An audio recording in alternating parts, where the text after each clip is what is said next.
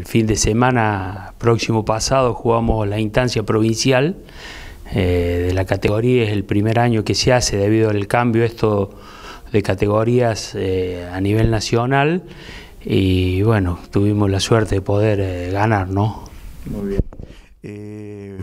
Campeonato, digamos, competitivo, con equipos de, importancia, con clubes representativos. Sí, sí, la instancia provincial juegan los mejores equipos de cada una de las ligas, ¿no?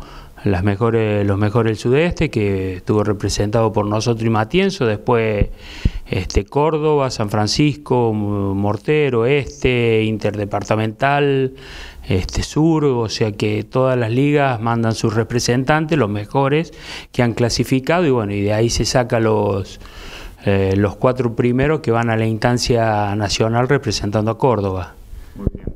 Obviamente se obtuvo el título, pero en esta categoría, digamos, las expectativas este, son positivas, hay, digamos, este recambio de jugadoras, son, muy chiquitas, muy jovencitas, pero apuntan, digamos, a este, proyectarse eh, para el futuro con importancia.